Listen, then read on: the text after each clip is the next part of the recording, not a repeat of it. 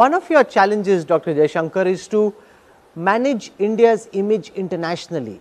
And over the past few days, we've seen multiple international reports which seem to suggest that India's standing is now, you know, being clouded. For example, uh, Freedom House put out a report which demoted India's freedom score from free to partly free, saying rights and civil liberties have been eroding uh, since Prime Minister Modi came to power.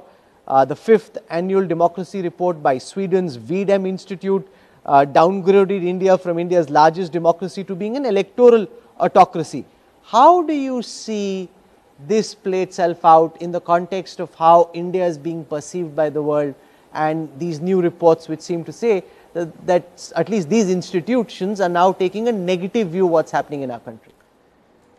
You know, uh, you use the dichotomy of democracy and autocracy, you want the truthful answer, it's hypocrisy. Okay? It's hypocrisy because you have a set of self appointed custodians of the world who find it very difficult to stomach that somebody in India is not looking for their approval, is not willing to play the game they want it to be played. Uh, so, they invent their rules, their parameters, pass their judgments and then make out as though this is some kind of global exercise.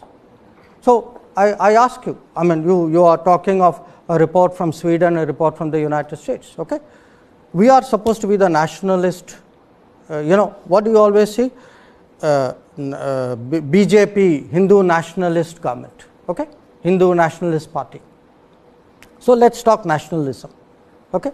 We are the nationalist guys we have given vaccines to 70 countries in the world. So tell me the internationalist countries, how many vaccines have they given? I mean, which one of these countries has said, while I'm doing my people, I will also do people outside who need it as much as my people do? So suddenly where are these people when it comes to that? You know, we are supposed to be, you know, shrinking civil rights uh, because of, you know, uh, apparently our mindset. Now, uh, again look at the politics of these places. I mean, uh, whatever you might say, I mean, in this country, nobody questions an election. Can you say that in those countries? So, and look at beliefs. I mean, uh, uh, yes, I mean, all of us are entitled to our beliefs, our faiths, our values, etc. But, uh, you know, I don't put my, put my hand on a religious book when I take my uh, oath of office. Guess which country does? So, so I think you know we need to enough of those homilies. I am I am quite self assured. I don't need certification from outside. Certainly not from people who clearly have an agenda to drive. So